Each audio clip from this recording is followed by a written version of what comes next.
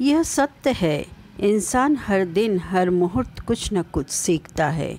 सीखने की ना कोई निश्चित समय, न निश्चित उम्र, न निश्चित जगह होती है, पर जिससे वो सीखता है, वह उसका शिक्षक बन जाता है।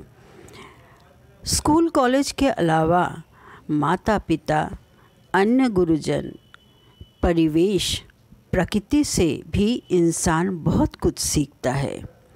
भारत के भूतपूर्व राष्ट्रपति डॉक्टर सर्वपल्ली राधाकृष्णन ने कहा था कि मैं गर्व महसूस करूँगा अगर हमारे देश में शिक्षक दिवस मनाया जाए। देश पा, पाँच सितंबर उनके जन्मदिन के अवसर पर शिक्षक दिवस मनाता है। हर इंसान के जीवन में शिक्षक का है अमूल्य स्थान। शिक्षक बिना जीवन का मकसद हो न सके साकार। वही है शिक्षक जिसकी अमिट छाप पड़ती है।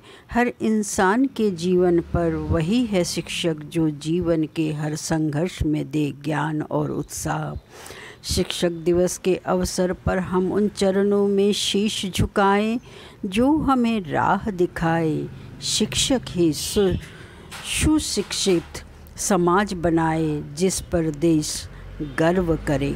शिक्षक दिवस के अवसर पर सभी शिक्षकों को हार्दिक शुभकामनाएँ।